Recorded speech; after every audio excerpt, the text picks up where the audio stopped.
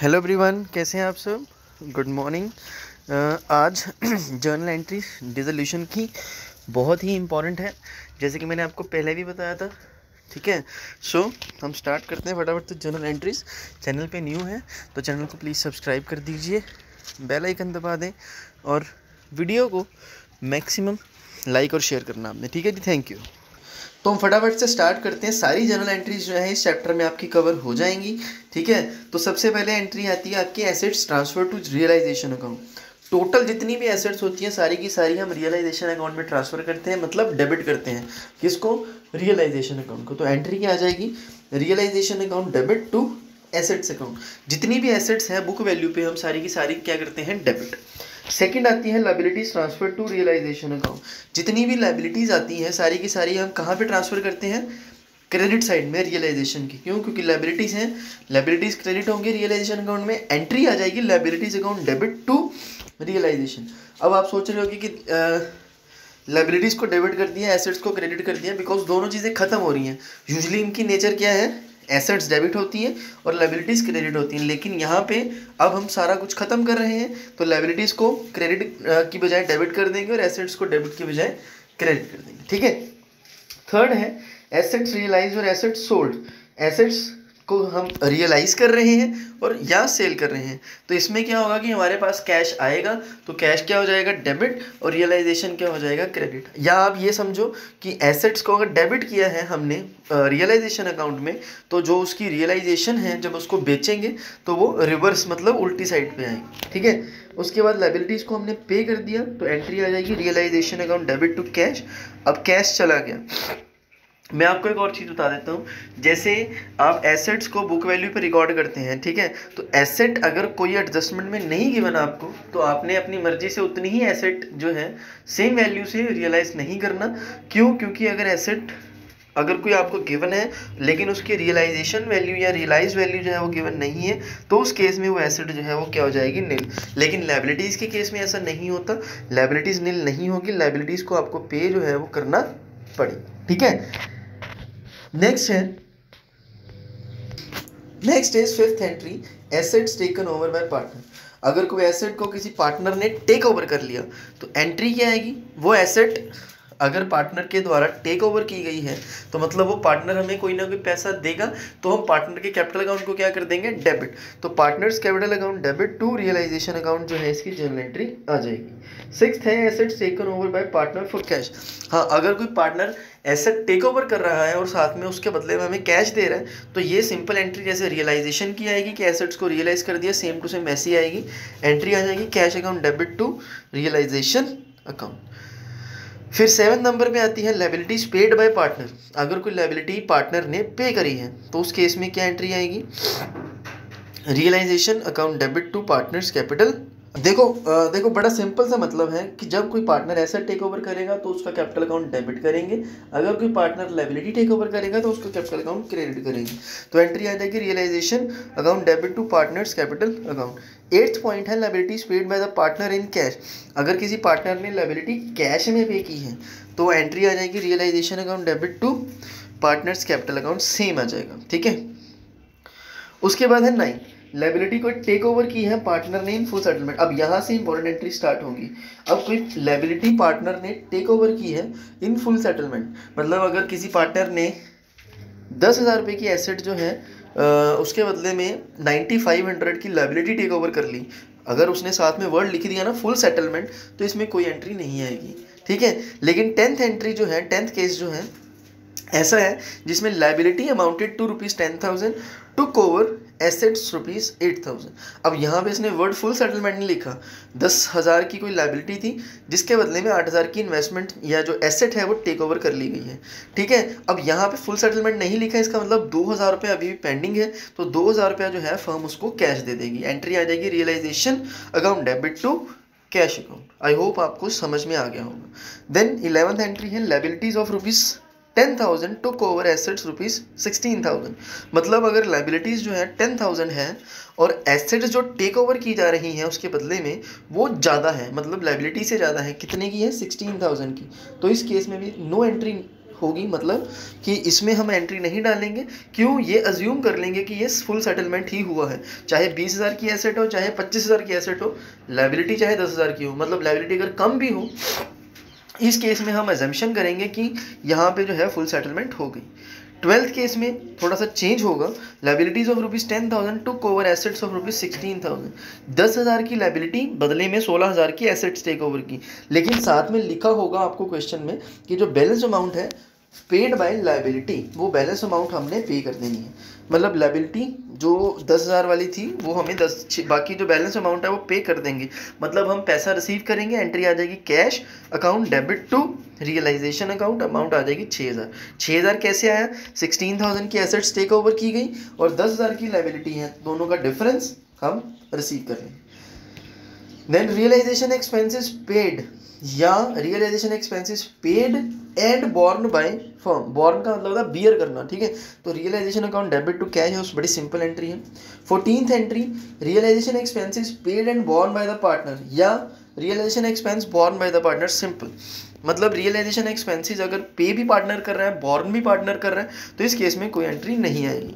Fifteenth case है realisation expenses paid by partner and borne by the firm अब realisation expenses जो है पे पार्टनर कर रहे हैं, लेकिन बियर कौन करेगा? फर्म तो अगर फर्म बियर करेगी तो कौन सा अकाउंट डेबिट होगा? फर्म का कौन सा अकाउंट होता है? रियलाइजेशन तो रियलाइजेशन अकाउंट क्या हो जाएगा? डेबिट और पार्टनर का कैपिटल अकाउंट क्या हो जाएगा? क्रेडिट अब पार्टनर का कैपिटल अकाउंट क्रेडिट इसलिए हुआ क्योंकि उसने सिर्फ़ खर्चा पे किया है, अभी उसको हम दे देंगे। सिक्सटीन है realisation expenses paid by the firm borne by the partner मतलब पे फर्म ने कर दिया लेकिन बॉर्न कौन करेगा? पार्टनर अब यहाँ पे फर्म का अकाउंट जो है इन्वॉल्व नहीं होगा क्योंकि फर्म ने पे किया है सिर्फ़ लेकिन वो लेंगे। किससे? पार्टनर से.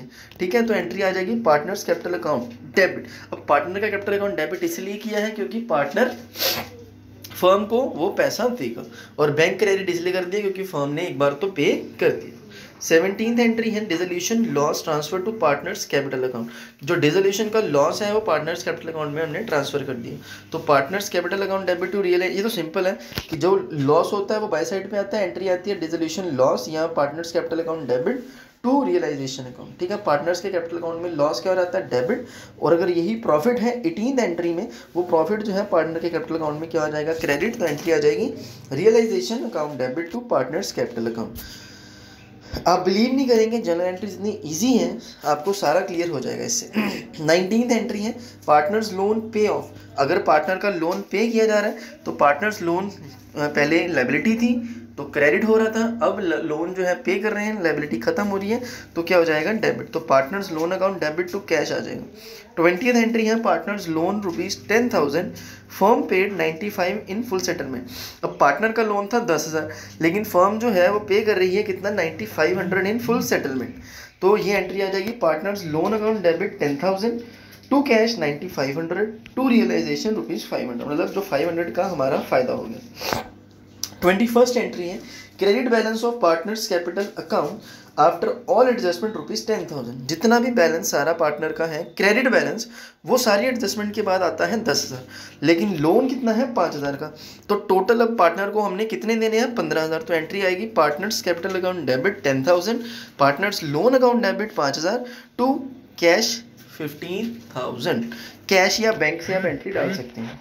फिर उसके बाद एक नोट है partners loan account appearing in the liability side of the balance sheet is transfer to partners capital account only when debit balance of partners capital is more than credit balance of partners capital account ठीक है partner capital sorry partners का जो loan account होता है, वो अगर liability side में balance sheet की आ रहा है, दिख रहा है, उसको हम पार्टनर के कैपिटल अकाउंट में तभी ट्रांसफ़र करेंगे जब डेबिट बैलेंस जो है पार्टनर्स कैपिटल अकाउंट का, वो क्रेडिट बैलेंस जो है, उससे ज़्यादा है राइट right? अब ट्वेंटी सेकेंड एंट्री है debit balance of partners capital account after all adjustment ten thousand partners loan six thousand ठीक है? मतलब डेबिट बैलेंस जो है पार्टनर के कैपिटल अकाउंट का, अब क्रेडिट की वजह डेबिट होगा, उल्टा होगा मतलब पार्टनर से हमने कितने पैसे लेने हैं? दस हज़ार, लेकिन उसको देने कितने हैं? छः हज़ार तो मतलब उसको कितने दे देंगे हम? नेट अमाउंट चार हज़ार, कैसे? दस हज़ार देने हैं छः हज़ार लेने हैं तो कितने देने हैं अब नेट चार हज़ार तो एंट्री सॉरी लेने हैं। तो अब हम उनसे कितने पैसे ले लेंगे? चार हज़ार। क्यों? क्योंकि देने वाले छः हज़ार हैं, लेने वाले दस हज़ार तो कैश अकाउंट डेबिट चार हज़ार से पार्टनर्स लोन अकाउंट डेबिट छः हज़ार से to partners capital account ten thousand twenty third entry है debit balance of partners capital account after all adjustments rupees six thousand अब डेबिट बैलेंस जो है पार्टनर के कैपिटल अकाउंट का, सारी एडजस्टमेंट्स के बाद वो है छः हज़ार रुपये तो पार्टनर का लोन है दस हज़ार। तो यहाँ पे उल्टा हो गया। अब पार्टनर को देने वाले कितने हैं?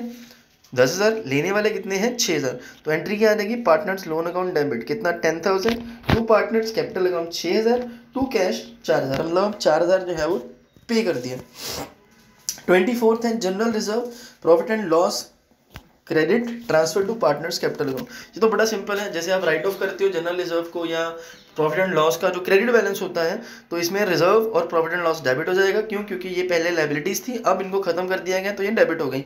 तो इसको पार्टनर्स कैपिटल अकाउंट में क्रेडिट कर दिया।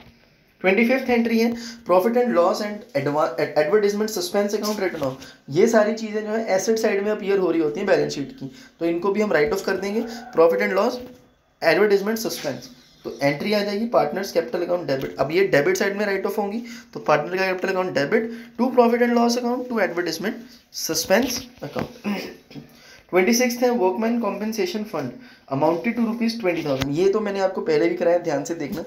बीस हज़ार वर्कमैन कॉम्पेंसेशन है, उसके बदले में कोई भी लाइबिलिटी नहीं है तो सारे का सारा वर्कमैन कंपेंसेशन रिज़र्व जो है, वो पार्टनर्स में डिस्ट्रीब्यूट हो जाएगा उनकी ओल्ड प्रॉफिट शेयरिंग रेशो में। तो एंट्री आ जाएगी workman compensation reserve account debit to partners capital account उनकी प्रॉफिट शेयरिंग रेशो में। Then liability for workman compensation rupees eight thousand paid off मतलब बीस हज़ार का रिज़र्व है, आठ हज़ार की लाइबिलिटी आ गई तो यहाँ पे तीन एंट्रीज आएँगी। कैसे? पहले तो ट्रांसफ़र करेंगे लाइबिलिटी को। कैसे? Workman compensation fund account debit to realization ये हमने रियलाइजेशन में क्रेडिट कर देनी, सिर्फ़ लाइबिलिटी लाइबिलिटी फिर उसके बाद pay off the liability in full liability full liability pay कर देनी जितनी है तो रियलाइजेशन टू कैश आ जाएगा। और लास्ट में जो बैलेंस बच गया, वो पार्टनर्स में डिस्ट्रीब्यूट हो जाएगा workman compensation reserve fund account debit to partners capital account और अगर लाइबिलिटी जो है बीस हज़ार है, पूरी की पूरी तो यहाँ पे पार्टनर्स के लिए कुछ नहीं बचेगा। तो पार्टनर्स वाली एंट्री यहाँ पे क्या हो जाएगी? स्किप ठीक है? तो एंट्री क्या आएगी workman compensation fund account debit to realization liability transfer कर दी, और बाद में लाइबिलिटी को पे कर दिया realization account debit to cash account then liability अगर बढ़ जाए फंड से तीस हज़ार हो जाए मतलब फंड है हमारे पास बीस हज़ार और लाइबिलिटी हो गई तीस हज़ार। तो लाइबिलिटी को ट्रांसफ़र करो पहले तो workman compensation fund to realization twenty thousand then realization account debit to cash कितना पे करेंगे? तीस हज़ार। जितना फंड था, वो पूरे का पूरा ट्रांसफ़र हो जाएगा। लेकिन जब लाइबिलिटी पे करेंगे रियलाइजेशन टू कैश तो वो दस हज़ार बढ़ा के पे करेंगे तीस हज़ार की, ठीक है?